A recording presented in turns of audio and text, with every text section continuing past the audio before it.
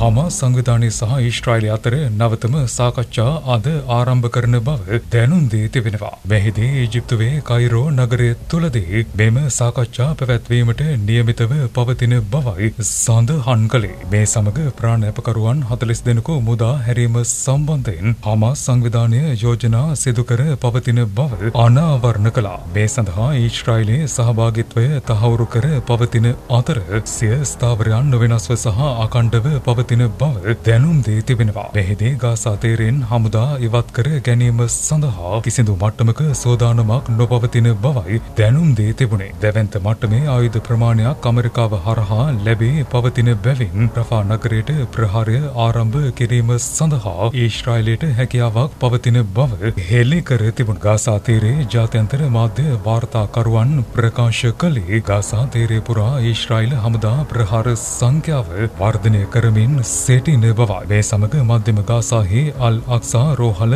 ආසන්නය වෙත විනාශකාරී ප්‍රහාර මාලාවක් සිදුකර පවතින බව දැනුම් දී තිබෙනවා. මෙහිදී මාධ්‍යවේදීන් සහ සිවිල් වැසියන් රැඳී සිටි කෝඩාරම් වෙත දැඩි මට්ටමේ හානි සිදුව පවතින බවයි දැනුම් දී තිබුණේ. මේ සමග මාධ්‍යවේදීන් කිහිප දෙනෙකු තුවාල ලබා ඇති බව සඳහන් කළා. මේ සමග අකණ්ඩව 13 වන දිනටත් මධ්‍යම ගාසා තීරයේ අල් ශිෆා රෝහල ආසන්න කලාප තුළ ඊශ්‍රයිල් හමුදා පැටලීම සිදුවන බව හෙළි කර තිබෙනවා. දිනේ වාර්තාව මගින් ඊශ්‍රයිල් හමුදා අද සඳහන් කළේ මෙහිදී අල් ශිෆා රෝහලේ අභ්‍යන්තර කලාප තුළ විශේෂ මට්ටමේ සෝදිසි කිරීම් සිදු කරමින් සිටින බවයි. මෙහිදී රෝහලේ මාතෘ සහ ළමා අංශයේ සිට අමා සමාජිකයන් සිදු කළ ප්‍රහාර ව්‍යර්ථ කළ බවයි අනාවරණ කළේ. මේ සමග රෝහල සහ ආසන්න කලාප තුළ වඩා ආරක්ෂාකාරී මෙහෙයුම් සිදු කරනු ලබන බව දැනුම් දී තිබෙනවා. මේ දක්වා අල් ශිෆා රෝහලේ සිදු කළ මෙහෙයුම් මගින් හමාස් සමාජිකයන් හාරසිය දෙනෙකු ඝාතනයට ලක්කර ඇති බවයි සඳහන් කළේ. මේ සමග හමාස් සමාජිකයන් දහසකට ආසන්න පිරිසක් මෙම වැටලීම තුළදී අත්අඩංගුවටගෙන පවතින බව සඳහන් කළා. මේ අතර කාන් යුනිස් නගරයේ සිදු කරන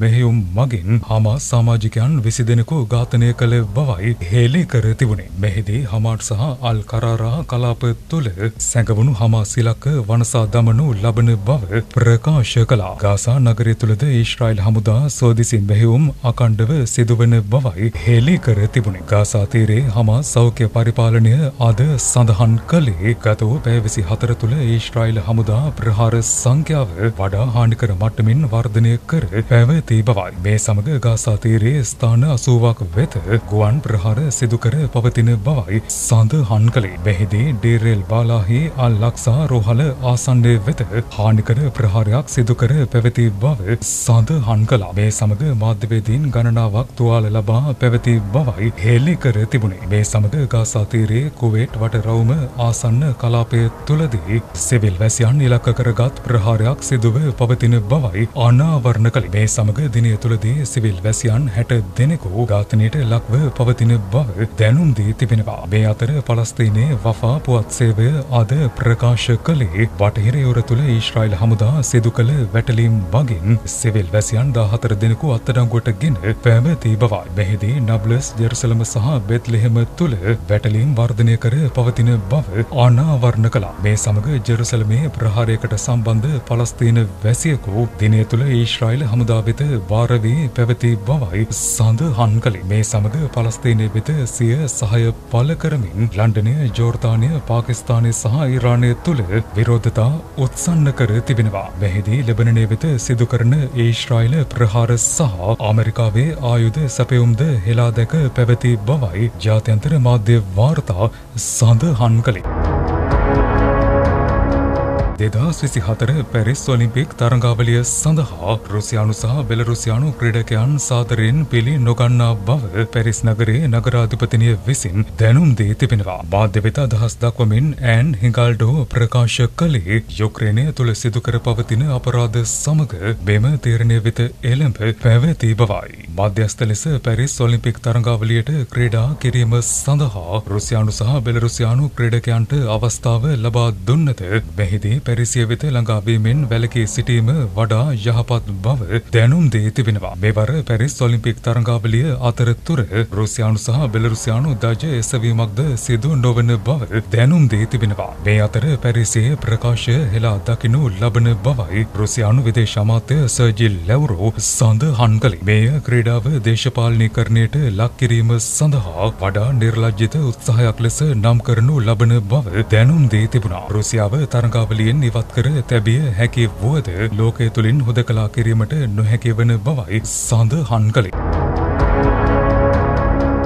අමරිකාවේ ඔක්ලහෝමා ප්‍රාන්තයේ ආකන්සස් ගංගාවේ යාත්‍රා කළ නැවක් එහි ප්‍රධාන පාලමේ කුළුණක් වෙත ගැටී තිබෙනවා. මේ සමග ඔක්ලහෝමාහි යු පනස් නමය අධිවේගේ මාර්ග පාලම වහම වසා දැමීමට කටයුතු කර පැවති බවයි සඳහන් කළේ. මෙහිදී පාලම් කුළුණේ ගැටුණු නෞකාවේ බඳ වෙත දැඩිමට්ටමේ හානිය සිදුව පවතින බව සඳහන් කළා. මේ සමග පාලමේ පැවැත්මට තර්ජනයක් මතුව නොමැති අතර මෙය තහවුරු කර ගැනීමට විමර්ශන සිදු කරනු ලබන බවයි දැනුම් දී තිබුණේ. මෙහිදී ආකන්සාස් පාලම හරහා යාත්‍රා ගමන් කිරීම තාවකාලික මට්ටමින් සීමා කර පවතින බව දැනුම් දී තිබෙනවා. ඇමරිකාවේ බැල්ටිමෝර් කී පාලම කඩා වැටීමෙන් දින කිහිපයකට පසු මෙම නවතම සිදුවීම වාර්තාවේ පවතින බවයි සඳහන් කළේ. මෙහිදී අධික වේගයකින් යාත්‍රා කළ නෞකාව යෝ පනස් නමය පාලමේ ගැටේ පැවති බවයි දැනුම් දී තිබුණේ.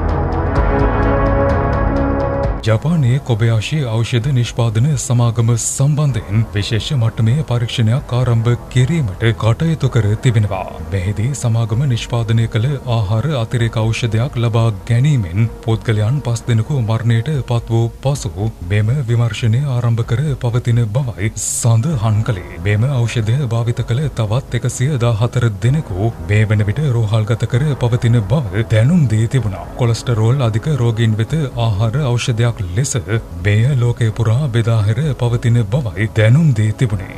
මීට පෙර කොබයාශි සමාගම නිෂ්පාදනය කළ තවත් ඖෂධයක් මගින් වකුගඩු රෝගය ව්‍යාප්ත වී පවතින බව හෙළි කර තිබෙනවා. මේට සම්බන්ධ කර්මාන්ත ශාලාව වසා දමා තිබියදී වෙනත් කම්හලක් මගින් නව ඖෂධය නිපදවා පවතින බවයි අනාවරණ කළේ. මේට සම්බන්ධ ඖෂධය භාවිතයෙන් ඉවත් කිරීම සඳහා සියලුම පියවර අනුගමනය කරමින් පවතින බව දැනුම් දී තිබෙනවා.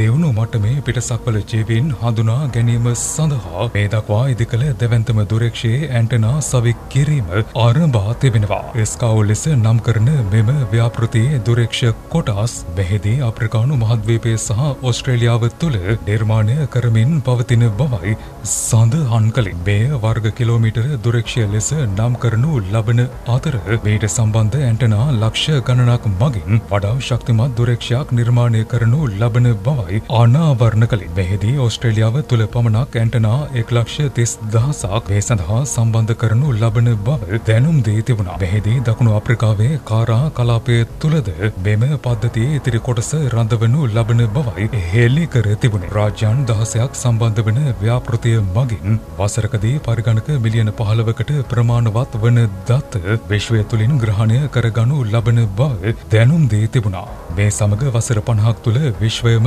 ආවරණය කිරීම සඳහා මෙම පද්ධතිය වෙත හැකියාව පවතින බවයි සඳහන් කළේ. මෙය කුඩා මට්ටමේ පද්ධතීන් ලක්ෂ ගණනක් සම්බන්ධ කරමින් සුපිරි මට්ටමේ රේඩියෝ දුරක්ෂයක් නිර්මාණය කිරීමක් ලෙස නම් කර තිබෙනවා.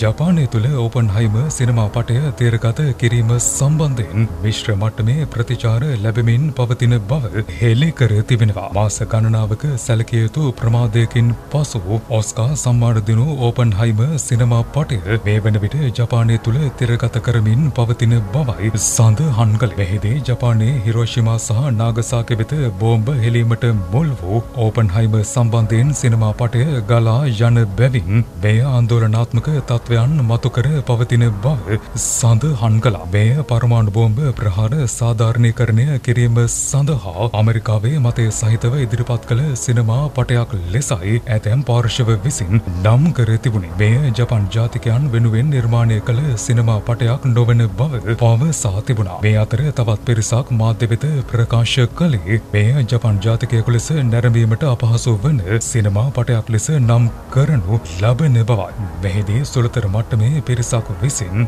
මෙය කලාත්මක නිර්මාණයක් ලෙස පමණක් සලකනු ලබන බව දැනුම් දී තිබෙනවා. ලොව වටා වැදගත් පුවත් දැනගන්න ලංකා ඒ නිවස් සබස්ක්‍රයිබ් කරන්න. නවතම වීඩියෝ සඳහා පහත සීනුවේ බොත්තම සක්‍රිය කරන්න.